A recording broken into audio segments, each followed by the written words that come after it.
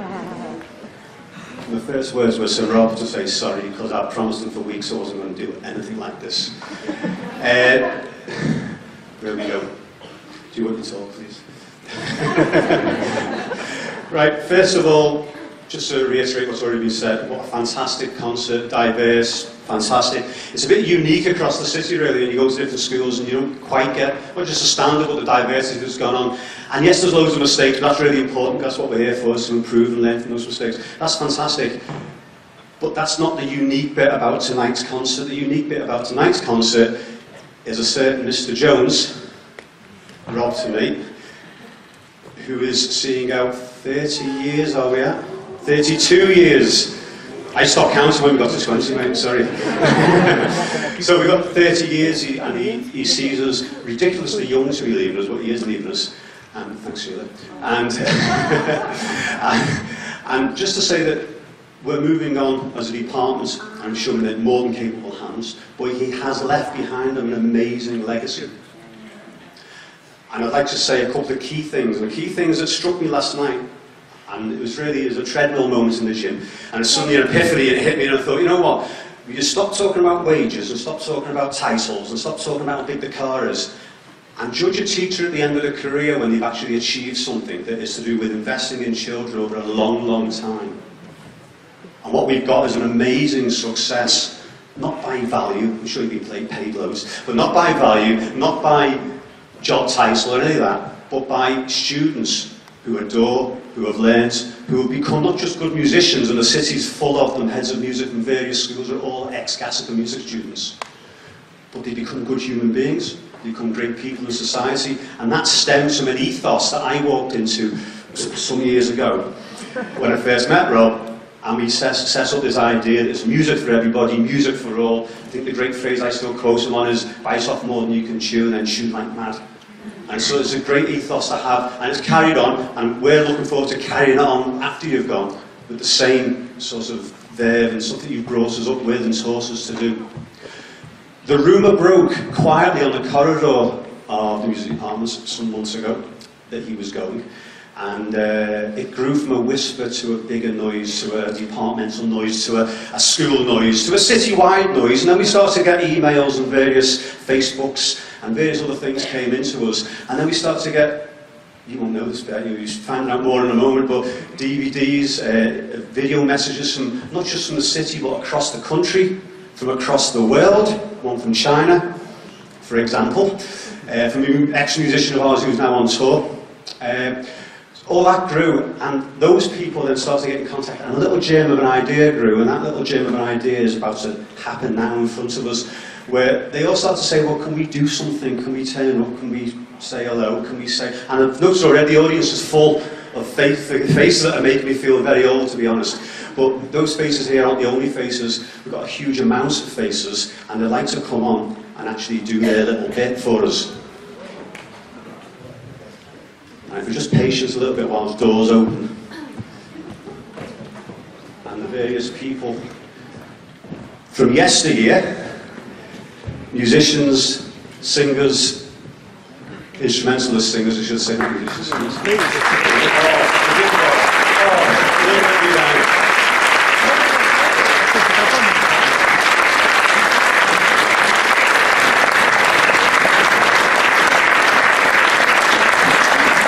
quite some of them, so we might all in.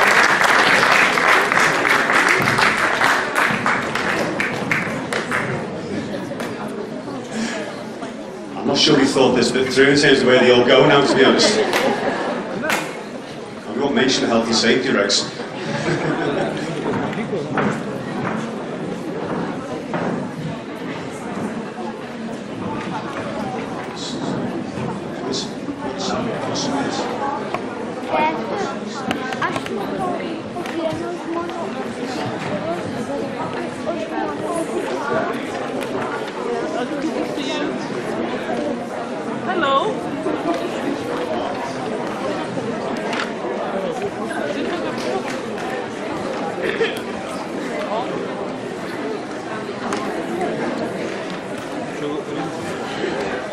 Okay, the next line was going to be an out for the surreal bit, but I just had such a surreal moment then, as the faces walked past. The surreal bit is this, that their great idea was, can we do a piece of music for Rob?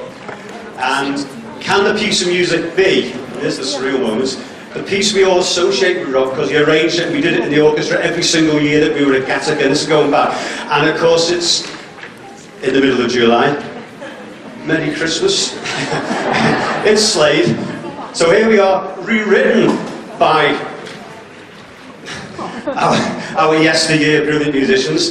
And, thanks, and we're going to do it, probably, I didn't use the word unique at the beginning of the night, a one and once only moment of a Christmas song in July, written by ex-Gateacre students, performed by all chorus and past Gateacre students. And this, is a sign, as far as we're concerned, of just how successful your career has been. It's amazing.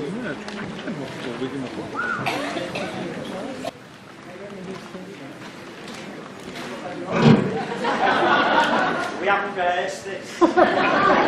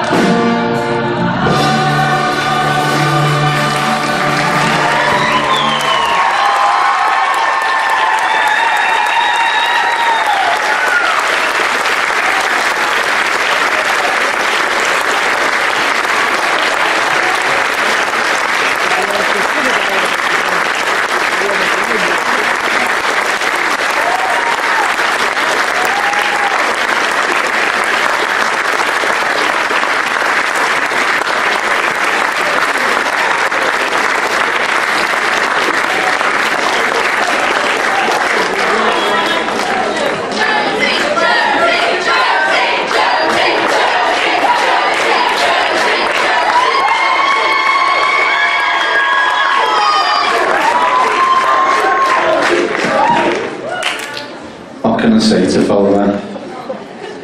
Live aid up here. That was brilliant. Thank you ever so much, everybody. I, uh, I arrived in Gateacre in uh, 1987. Rick Astley was number one. Never gonna give you up. And uh, I had one room and a piano, and that was it. And I became the head of music in 1990. Uh, and I was, in effect, head of me. It was only me. And uh, in 1993, Mr. Warner, my school friend, uh, came along, and that was when things really began to take off. Got a great department. Thank you to all, everybody. Uh, it's been an absolute pleasure. And we'll leave you with uh, Hey Jude, which I believe you've got a few things to wave in the air. So I became, I became a music teacher just for nights like this to perform with great musicians of all ages. And it's been a real thrill. And I'll see you for the carol concert. Thank you all.